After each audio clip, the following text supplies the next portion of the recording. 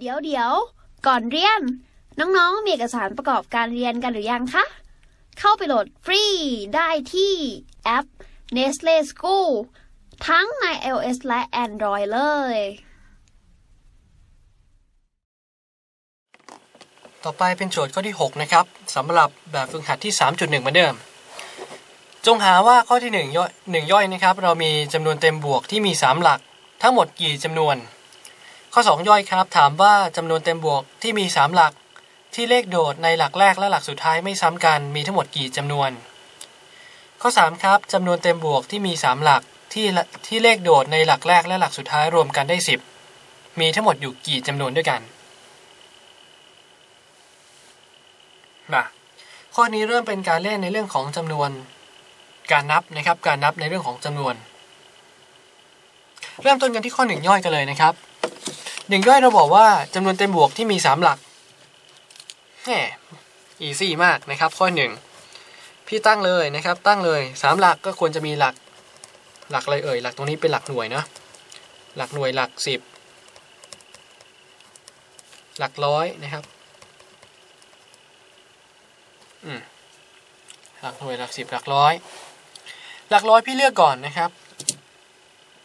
คอนเซปต์วิธีการเนี่ย ในการใช้กฎการคูณใดก็ตามนะครับ เราพยายามเลือกสิ่งที่มันเป็น สิ่งที่มันมีความยุ่งยากมากสุดเลือกก่อนสำหรับในข้อที่หนึ่งเนี่ยถามว่าอะไรมีความยุ่งยากมากสุดคำตอบคือหลักร้อย เพราะว่าการที่เราจะเลือกจำนวนเต็มบวกที่มี 3 หลักได้เนี่ยนะครับหลักร้อยห้ามเป็นศูนย์ถูกไหมครับมันมีเงื่อนไข เพราะถ้าเกิดหลักร้อยเป็นศูนย์เนี่ยมันก็จะเหลือแค่2หลักมันก็จะไม่ใช่3หลักละเห็นไหมครับ เรามีเงื่อนไขว่าหลักร้อยนะ ห้ามเป็นศูนย์ถูกไหมครับแต่หลักสิบจะเป็นอะไรก็ได้นะครับ ไม่มีใครว่า หลักหน่วยจะเป็นอะไรก็ได้ไม่มีใครว่าถูกไหมครับ เพราะฉะนั้นเราเลือกหลักที่มันจู้จี้มากสุดก่อน หลักร้อยเนี่ยจู้จี้ถูกไหมเราเลือกมันก่อน เลขโดดทั้งหมดมีตั้งแต่ศูนย์หนึ่งสองสามสี่หกเจ็ดแปดเก้าถูกไหมครับ มีหมดอยู่สิบตัว แต่ห้ามเป็นศูนย์ก็แปลว่าหลักร้อยเนี่ยเลือกได้ทั้งหมดกี่ตัวครับ เลือกได้หมดอยู่9ตัว ก็คือเลือกได้จากเลข1เลข2เลข3คือจริงอะเราเลือกจากอะไรครับ เลือกจากเซตของ 1 2 3 4 5 6 7 8 9นะครับเลือกได้หมดอยู่ 9 วิธี ส่วนหลัก 10 ครับ หลัก 10 เราก็เลือกอย่างอิสระถูกไหมครับ ไม่มีใครมาห้ามละหลัก 10 ก็เลือกได้หมดอยู่ 10 วิธีนะครับหลักร้อยก็เอ้ยหลักหน่วยก็เลือกได้อีก 10 วิธีนะครับงานยังไม่เสร็จใช้กฎการคูณถูกไหมเพราะเลือกหลักร้อยหลักเดียวก็ไม่เป็นจำนวนเต็มบวก 3 หลัก เลือกแค่หลัก 10 หลักเดียวก็ไม่เป็นจำนวนเต็มบวก 3 หลัก ต้องเลือกทั้งหลักร้อยหลัก 10 หลักหน่วยเหมือนเป็นขั้นที่ 1 ขั้นที่ 2 ขั้นที่3นะครับ ใช้กฎการคูณ 9 คูณ 10 คูณ 10คำตอบคือ 900จำนวน นี่นะครับ พอเห็นคอนเซปต์วิธีการเอาเรื่องของกฎการนับพื้นฐานนะครับมาใช้งานแล้วนะ ข้อ 2 ครับจำนวนเต็มบวก 3 หลักที่แตะที่เลขโดดในหลักแรกและหลักสุดท้ายไม่ซ้ำกัน อ่า หลักแรกและหลักสุดท้ายไม่ซ้ำกัน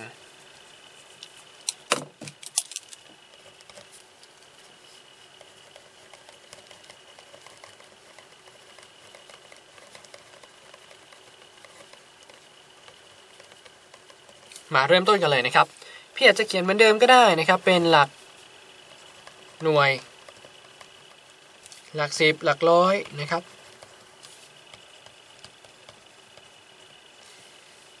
หลักแรกกับหลักสุดท้ายไม่ซ้ำกันทำยังไงดีนะครับเฮ้ยตอนนี้เรามีหลักที่มันจู้จี้อยู่ต้องสองหลักแล้วนะครับ เขียนเงื่อนไขก่อนหนึ่งก็คือหลักร้อยนะ ห้ามเป็นศูนย์เหมือนเดิมถูกไหมครับ เพราะว่ามันเป็นเลขสามหลัก ต่อไปหลักหน่วยอะเขียนหลักหน่วยดีกว่าหลักหน่วยต้องห้ามซ้ำกับหลักสิบเอ้ยห้ามซ้ำกับหลักร้อยถูกไหมครับ เรามีสองเงื่อนไขละข้อหนึ่งเงื่อนไขเดียว พี่เลือกหลักร้อยก่อนนะครับ พี่เลือกหลักร้อยก่อน เลือกได้กี่วิธีครับ พี่ก็เลือกเหมือนเดิมหลักร้อยห้าเป็นเลขศูนย์เลือกได้หมดอยู่เก้าวิธีเก้าวิธีตรงนี้เลือกจากไหนครับ เลือกจากเซตของหนึ่งสองสามไปจนถึงเก้านะครับ อะค่อยๆเขียนดีกว่าเป็นขั้นที่หนึ่งนะครับ อันนี้คือพี่ไม่ได้เขียนเป็นวิธีทำส่งครูนะ ถ้าน้องๆนะครับ อยากเขียนเป็นแซงวิธีทำนะครับ สมมติว่าครูสั่งกันบ้าน เวลาเขียนนะอาจจะต้องเขียนเป็นการเลือกขั้นที่1นนะครับขั้นที่ 1 เลือกหลักร้อยได้ทั้งหมดอยู่ 9 วิธีโดยเลือกจากเซตของ 1 2 3 จนถึง 9 เป็นต้นนี่คือวิธีกระบวนการเขียนนะครับ พี่อาจจะไม่ได้เขียนให้เราดู แค่อออธิบายไอเดียเฉยๆเนาะ หลักหน่วยนะครับหลักหน่วยต้องห้ามซ้ำกับหลักร้อยถูกไหมแต่หลักร้อยเนี่ยเลือกมาแล้ว สมมุติว่าหลักร้อยเป็นเลขสามหลักหน่วยเป็นอะไรได้บ้างครับ หลักหน่วยก็เป็นเนี่ยศูนย์หนึ่งสองแต่เป็นเลขสามไม่ได้ถูกไหมเป็นสี่ห้าหกเจ็ดแปดเก้าได้ ก็แปลว่าหลักหลักหน่วยก็เป็นได้หมดอยู่เก้าตัวนะครับเป็นได้หมดอยู่เก้าตัว พูดง่าย ๆก็คือ เลือกจากอะไรครับเก้าตัวนี้เลือกจากไหน เลือกจากเซตของ 0 1 2 3 4 5 6 7 8 9เนี่ยทั้งหมดเนี่ย แล้วก็ลบอยู่กับอะไรครับ ลบอยู่กับเซตของออตัวที่เราเลือกแล้วเนี่ยในหลักร้อยอีกหนึ่งหนึ่งตัว อะไรไม่รู้แหละนะครับ ตรงนี้อีกหนึ่งตัวนะครับ ที่มันซ้ำกับหลักร้อยนะครับนึกออกไหมถ้าเกิดเราเลือกหลักร้อยเลข 3 ตรงนี้ก็คือเลข3นะครับเพราะฉะนั้นจากเดิมที่มันมี 10 เลขอิสระนะครับ เราก็เลือกได้แค่ 9 เลขนะครับเลือกได้แค่9เลขเท่านั้นเองส่วนหลัก10นะครับยังหลั่นล้าเหมือนเดิมนะครับสามารถเลือกได้อิสระเลยนะครับคูณ 10คูณ10คูณ10คูณ9เข้าไป9คูณ9เอ้ยพี่ต้องอธิบายก่อนว่า เราเลือกหลักร้อยอย่างเดียวก็ไม่ได้ถูกไหมเราเลือกหลัก10อย่างเดียวก็ไม่ได้ถูกไหมเราเลือกหลักหน่วยอย่างเดียวก็ไม่ได้ถูกไหมครับเพราะนั้นเราต้องเลือกทั้งสามหลักถึงจะงานเสร็จถูกไหมครับก็ใช้กฎการคูณ9คูณ10คูณ9ก็กลายเป็น 810จำนวน นี่คือคำตอบของโจทย์ข้อที่ 2 ครับ หลักแรกและหลักสุดท้ายต้องห้ามซ้ำกัน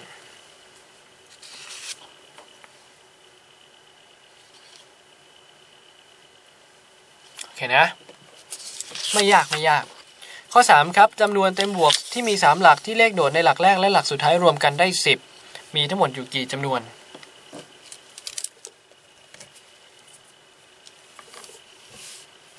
พี่ก็ตั้งเหมือนเดิมเลยเห็นไหม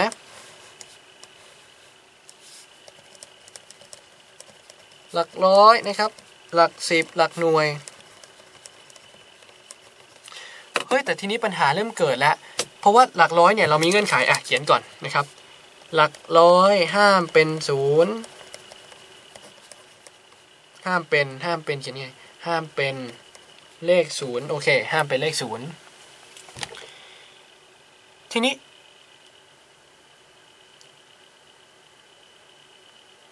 เลขโดดด้วยหลักแรกกับหลักสุดท้ายรวมกันได้สิบเฮ้ยมันเริ่มมองยากแล้วอะเพราะว่าถ้าเกิดหลักร้อยเนี่ยเราเลือกทั้งหมดอยู่เก้าวิธีแล้วหลักหน่วยเลือกยังไงเนี่ย บางคนมองไม่ออกนะครับ ไม่เป็นไรเราค่อย ๆทำแบบนี้ก็ได้นะครับ เราลองขยับหลักร้อยกับหลักหน่วยมาไว้ใกล้ ๆ กันก่อนนะครับ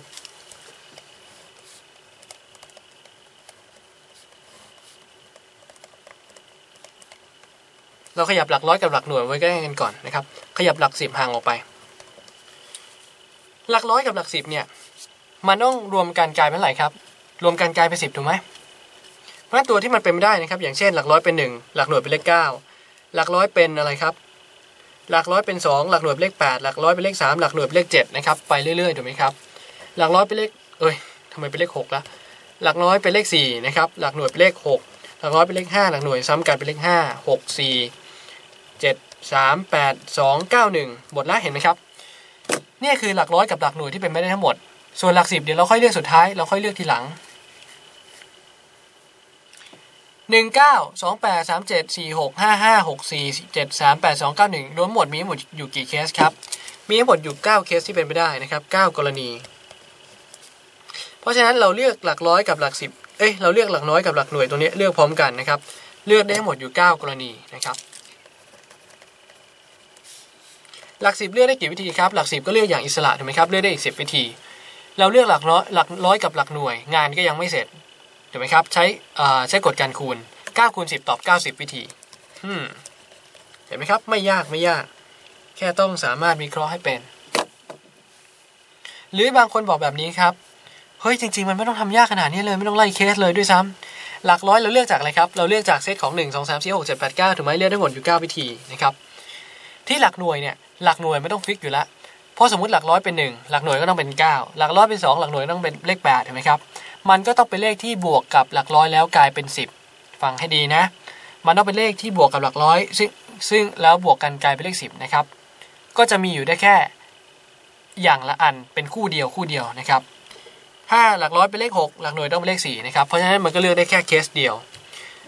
เห็นไหมครับแค่เขียนแบบนี้ปุ๊บก็ง่ายเลยไม่ต้องแจกแจงแล้ว หลักสิบก็เลือกอย่างอิสระครับ เลือกได้สิบวิธีก็กลายเป็นเก้าสิบวิธี ต่างกันที่กระบวนการคิดแค่นั้นเองนะครับทำเร็วทำช้าไม่ต่างกันมากนะครับ ขอแค่ concept ต้องต้องพอได้นะครับ ต้องรู้ว่าเราจะมีกระบวนการคิดยังไง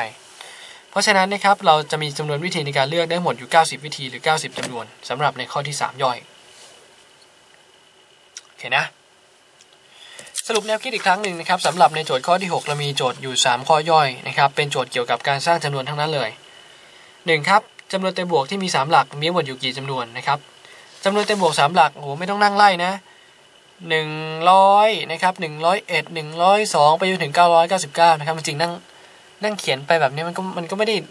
ยากเย็นนะนะครับแต่ว่าข้อนี้เราลองฝึกการใช้กฎการนับเข้ามาช่วยหน่อย เราบอกว่าหลักร้อยเป็นหลักที่จู้จี้ถูกไหมครับหลักจู้จี้เราเลือกก่อน หลักร้อยเนี่ยห้ามเป็นเลขศูนย์เพราะฉะนั้นเราก็ต้องเลือกจากอะไรครับเลือกจากเลขหนึ่งสองสามสี่หกเจ็ดแปดเก้าเลือกได้กี่วิธีครับเลือกได้เก้าวิธี หลักสิบหลักหน่วยเลือกอย่างอิสระเลือกแยะเลือกได้อย่างละสิบถูกไหมครับสิบคูณสิบคูณเก้าตอบเก้าร้อยจำนวนตามกฎการคูณข้อสองครับหลักแรกและหลักสุดท้ายไม่ซ้ำกัน ก็เลือกหลักที่มันจู้จี้ก่อนก็คือหลักร้อยกับหลักหน่วย หลักร้อยต้องห้ามเป็นศูนย์หลักหน่วยต้องห้ามซ้ำกับหลักร้อยขั้นที่หนึ่งครับพี่เลือกหลักร้อยก่อนนะครับก็เลือกจากเซตของ1ถึง9ก็เลือกได้หมด 9 วิธี ขั้น 2 ครับ ขั้นที่ 2 เราเลือกหลักหน่วยถูกไหมครับเราเลือกหลักหน่วยได้ทั้งหมดอยู่ 9 วิธี 9 วิธีมาจากไหนมาจาก 10 วิธีที่มันเป็น0ถึง9มีทั้งหมดอยู่เลขทั้งหมด 10 เลข ลบกับเลขที่เลือกไปแล้วข้างหน้า 1 เลขก็เหลือแค่9นะครับ หลัก10เลือกอะไรก็ได้ ไม่บังคับนะครับ เป็นขั้นที่3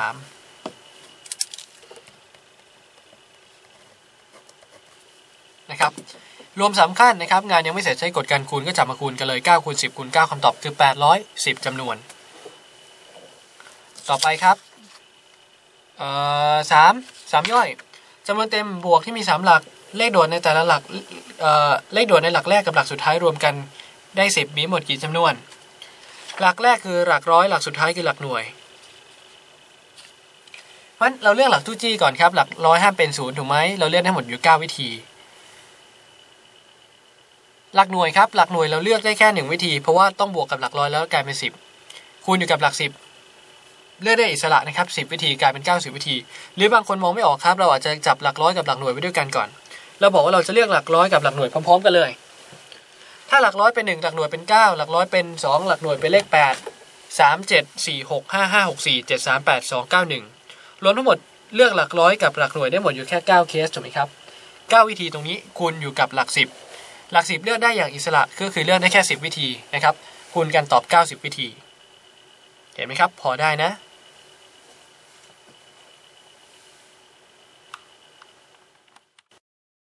เรียนจบแล้ว อย่าลืม เข้าไปฝึกทำข้อสอบแบบจับเวลา ในแอป Nestle School กันด้วยนะจ๊ะ ถ้าน้องๆมีคำถามสงสัย ไม่เข้าใจตรงไหน ถามว่าในแอปได้เลย แล้วพี่ๆจะรีบเข้าไปตอบให้นะคะทำกันบ้านไม่ได้ไม่ต้องเศร้ามาดูความรู้ช่องเรานะคะ